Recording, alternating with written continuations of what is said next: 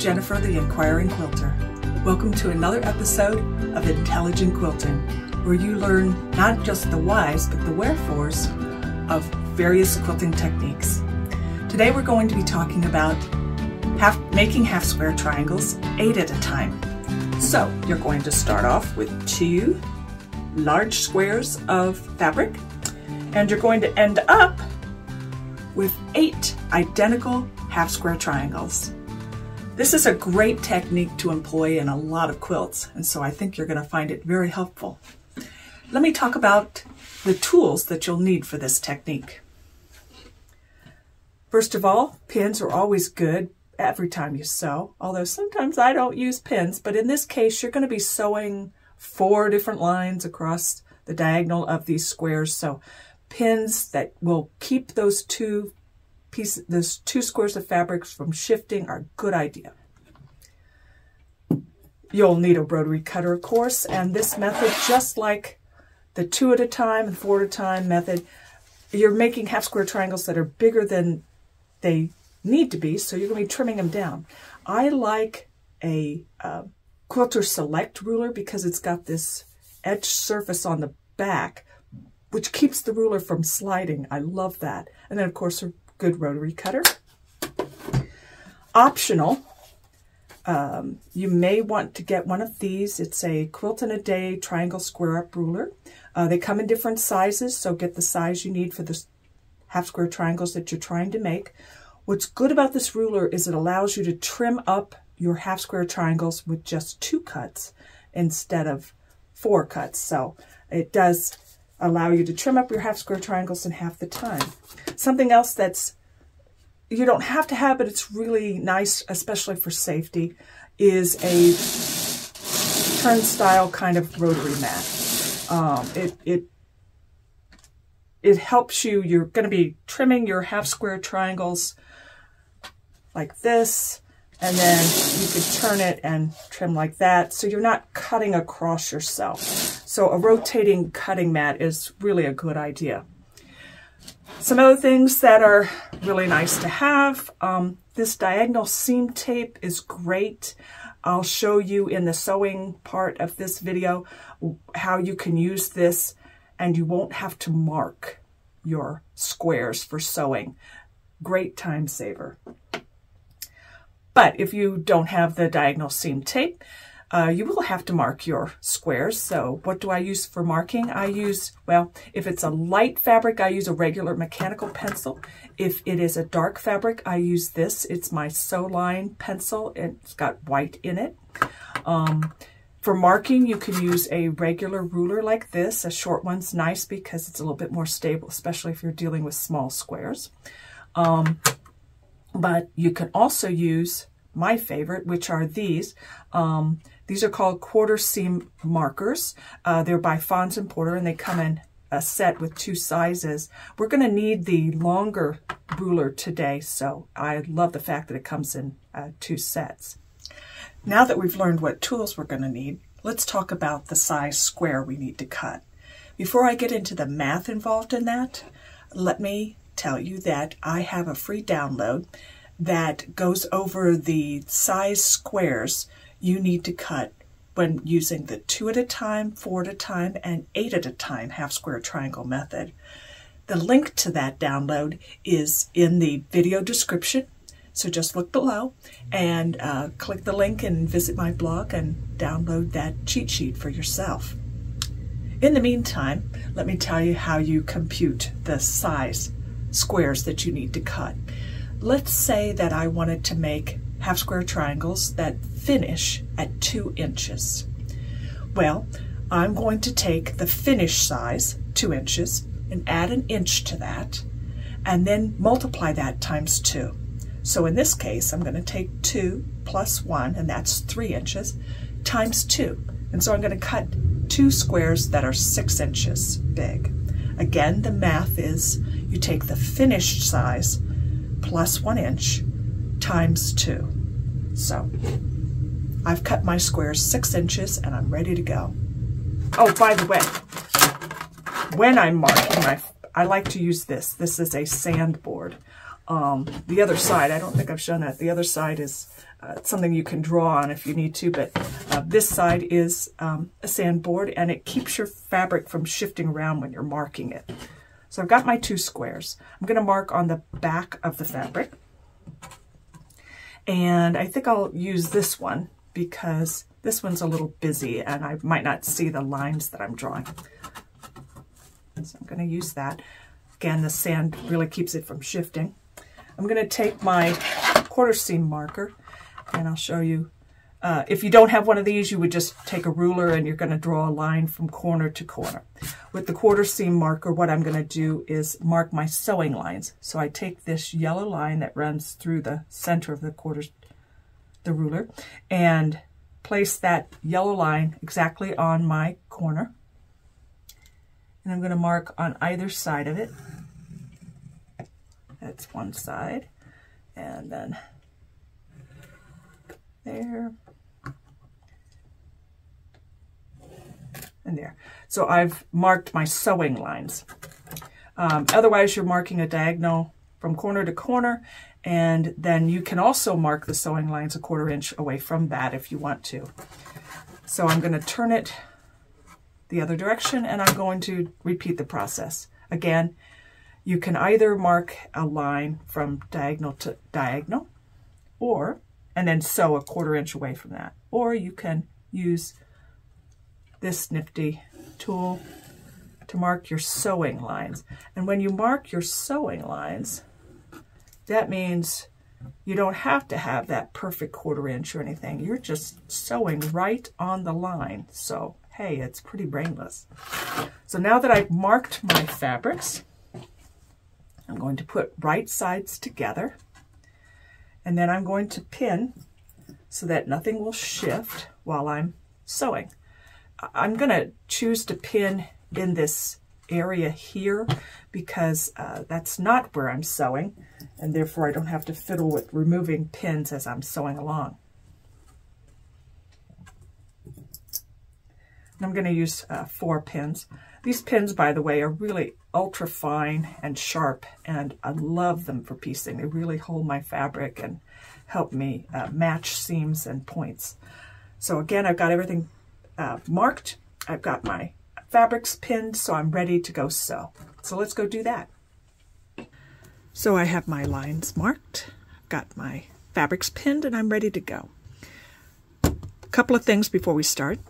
I like to sew on and off a leader and an ender. That is a scrap of fabric.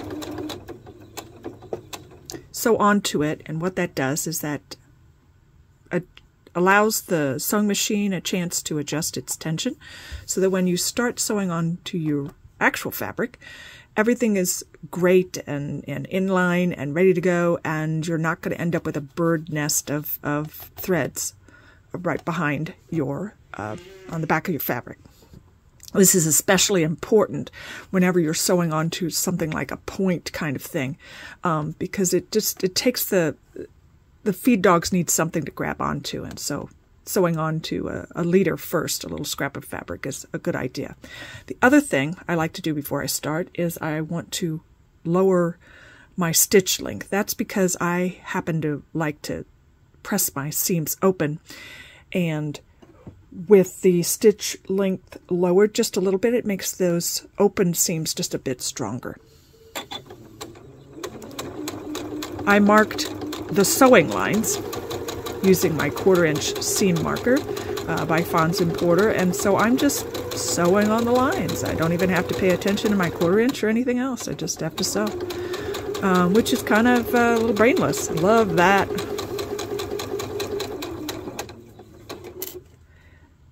going to sew onto ender here. And then I'm going to cut my threads, turn it around, cut the leader off the front part of that, turn it around, and now I'm going to sew here. And by the way, I am sewing with high contrast thread so you can see what I'm doing. Uh, I would not normally have chosen white thread uh, for these such dark fabrics, um, but I wanted to be able to see what I was doing, so. There you go, sewing on the line. I'm sewing on the line, sewing on the line, sewing on the line. Okay, coming to the end here. So, sew onto a little scrap of fabric that we call the ender. So, leaders and enders. Now, I need to sew these other two lines, but before I do, let me show you a couple alternative methods what I call no mark methods. So we're going to pretend that there aren't any marks here. And I'll show you how you can sew without a mark. I'm going to cheat and use this this special tape. It's called Diagonal Seam Tape. It's by Cluck Cluck Sew, and I will have a link to it in the description of this video. Notice there is a red line and two black lines. They are a quarter inch away. So I need to put the red line in front of my needle and then these black lines will be my guides because they'll be a quarter inch away. So to make sure that I've got everything kind of straight on to the needle, I lay a ruler down and then I use a horizontal line on the ruler and I line it up with the horizontal edge of my needle plate. And that way I can make sure that if this is a right angle, then I'm straight on to the needle. So this is installed correctly. Now I'm ready to go. So let's pretend these lines aren't here. Um, how I use this is I'm going to put the point of my square and it's going to travel along the black line. And as you see, when it gets up to the needle, the sewing line is directly across from the needle. So that's how I'm going to guide this, um, even though I, I do have the lines marked. We're going to pretend I don't. And that's how I could guide this and sew without having to mark. Now, how's that? I mean, that is just too flipping cool. Now, how do I keep this straight? Well, down at the bottom here where you can't really see, right there, I am guiding the point of the corner point of the squares along that black line. And that is what is allowing me to keep this straight on to the needle See, I'm guiding right there. And that is causing me to sew one quarter inch away from the diagonal that runs from corner to corner. So let me sew off. Then I'll show you my second and personally favorite way of sewing these half square triangles without having to mark. But first I've got to get my laser installed. Okay, now I can remove the tape. Um, to line it up, I've lined it up the laser beam along the edge of my quarter inch foot and then also on this quarter inch mark down on my needle plate. Let me show you how my laser is attached. It's attached to the top of the sewing machine with Velcro, meaning I can take it off and on when I travel. There is a a switch on the side here that I can turn it on and off so I don't have to use the laser when I don't want to. But I will tell you that I like using this guy for a lot of things. Not just uh, the no mark method of half square triangles, but also flying geese when I'm making, uh, what is it, four at a time? The no waste flying geese. Uh, when I'm doing um, flip corners where you have a square and you're going to you mark a diagonal and you're going to sew on that diagonal and then press it back towards the corner. That's I call that flip corners. Um, I use it for that. I don't mark that diagonal. I just use the laser beam to do it. I also use this um, when sewing straight lines for, you know, like a modern quilting. I want to do a bunch of straight lines. Um, this is awesome. I can set this anywhere I need to and, and measure a straight line a certain distance from the needle. So anyway, back to what we were doing. Um, now that I have my laser, I use it the exact same way that um, I used the line on the diagonal seam tape. So I'm going to run the point of my, the corner of my square, right up the laser, and then where it uh, meets the needle, it'll be a quarter inch away. And down at the bottom, like before, I am keeping that bottom point lined up. Oops. Um, with the laser so that I can sew quarter inch away. There you go. Um, oops, let me sew on to a little, there, now I go. I'm just gonna go ahead and take these off.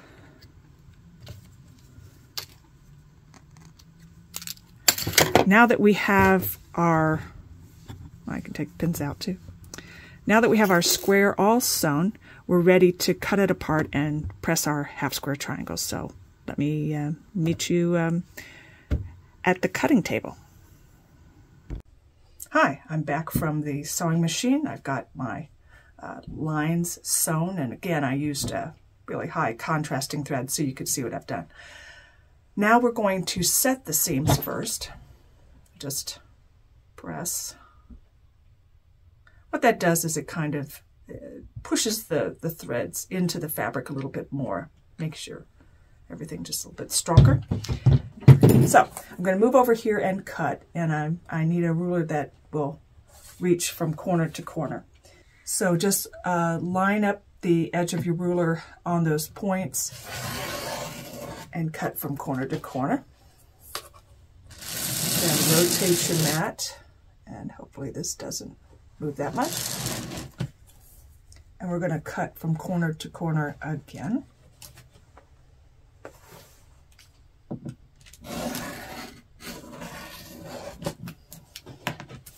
Okay, now, let me put those back together. Okay. Now I'm going to also make two more cuts. There you go. So I'm going to use the straight part of my ruler to cut through the center of this. I mean, I'm going to lay one of my lines along the squares there so I know that I'm cutting straight. Cut straight through the middle. Rotate one more time. This time I'm going to cut through the center over here. Again, that just has moved just a tiny bit. want to cut through the centers there. Okay, so I've got my eight half square triangles. So let's uh, press some of them and I, we'll come back and um, trim them to size. Because I'm going to use a smaller ruler when I trim. So let me show you how I press. Lot of you press to the dark, that's great. Um, I recommend finger pressing that first. What that does is that helps that seam lie flat. And I'm going to use also the point of my iron to press that seam over. Now I'm going to use the weight of the iron and my wool mat. They're, the two are going to combine to get heat on top and heat radiating up back from the wool to really flatten that seam. I'm going to come over here and I'm going to flatten that side and really press it nice to flatten that. Then I'm going to finish off with this. This is my clapper. Um, the clapper is wood. It The wood can take the heat and radiate it back down, but also the heaviness of that wood is pressing that seam so that you get a nice flat uh, half square triangle. When I trim, I'm going to use the 45 degree line on my ruler. And I am trimming this to two and a half inches, but I'm not doing it all at once. I'm going to lay my that diagonal right here on the seam, and I'm going to cut these two sides, and then I'm going to cut it precisely to size when I make the second cuts. So first one. Then I'm going to rotate I like to cut away from me. I think that's safer than cutting across. So I've cut these two sides. So now I'm going to turn it around. These are the two sides I just cut. So I'm going to place the two and a half inch mark right on that freshly cut side and that two and a half inch mark right down here and the 45 degree right there. That's important because you want this seam to be the center to run from corner to corner on your on your finished half square triangle. So you want to cut it that way. I cut those two remaining sides and voila, it is perfect two and a half inches and uh, ready to be sewn into a block. Now let me show you a method of trimming that will save you some time. So here we've got another one of our half square triangles. And before we press it, we are going to trim it using this, the Quilts in a Day Triangle Square Up Ruler. Notice that there's a bunch of lines. What I'm looking for is I want to trim this to two and a half inches. So I'm going to use this line here, the two and a half inch line. I'm going to take that line and I'm going to put it right on my seam. And I'm going to trim these two sides. So let's trim that side. And then let's trim that side. So you make two cuts, but you've trimmed four sides. And now when I press this, it's going to be a perfect two and a half inches. So let me show you another trick that I like to use. Well, not a trick, but it's how I actually press. I like to press my seams open. Now, you can press seams open by, as before, finger pressing. Just kind of gently open them, finger press them like that. Then you take your iron, and by the way, I like to use it on cotton setting without any water, so no steam. That's so I can avoid situations where I might be accidentally pressing on the bias. In this case, you don't have to worry about the bias too much, but um, I just like to use it without steam. So I'm using, by the way, I'm using the point of my iron to help me press open that seam. And once it's open, I then uh, let the weight of the iron help flatten it a bit and also uh, the heat radiating back up from the wool pressing mat will really help flatten that seam. To finish it off, I'm going to uh, press it down with the um, clapper. And then I can repeat the process by pressing it on this side. I, I like to do that because I like my seams pretty flat. I think that um, helps my block be flat and square. So I take the time now to trim up my half square triangles to size, flatten my seams. Use that. And there you go. Nice and flat. One thing about this, the triangle, uh, trimming up this way is that you're going to end up with these dog ears. I don't know if you can see them, these little things, these little triangles that hang out. Let me show you how to get rid of those easily. So let's start again with another triangle. I'm going to use my Quilt in a Day ruler. I'm going to put my two and a half inch line right on this seam and I'm going to make two cuts just like I did before.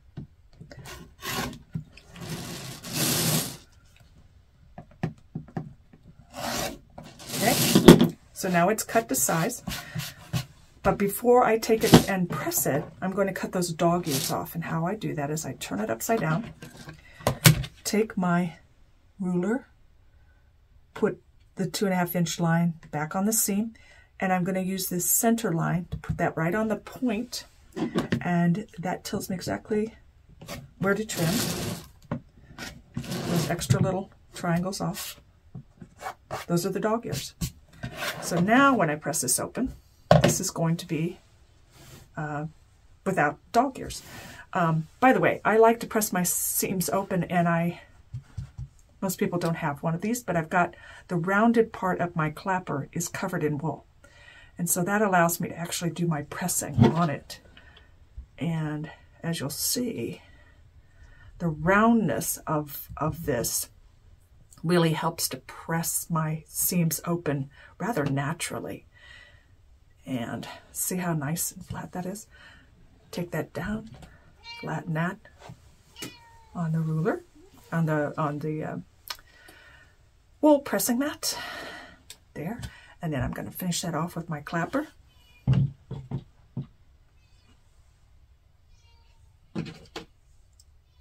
There you go. Another perfect half square triangle trimmed to size in half the time that it, the traditional method uses. And it uh, doesn't have dog ears and it's perfectly sized. And when it joins up with its little buddies over here, all these other, I have so many half square triangles now. Yay, I am just so happy. Uh, I hope you are too. This is a really wonderful method to use uh, in making half square triangles. I, I like to use it, frankly, because gets them done fast.